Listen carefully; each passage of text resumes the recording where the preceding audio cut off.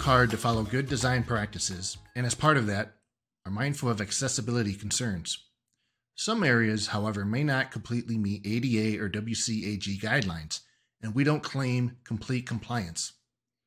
All of our plugins are built to be customizable, however, so it's generally possible to address specific concerns that might be of particular importance.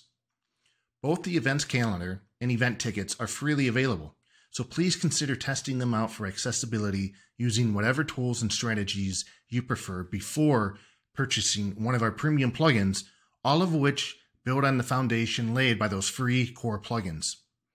If you have further questions or would like to provide feedback, please feel free to reach out to our support team.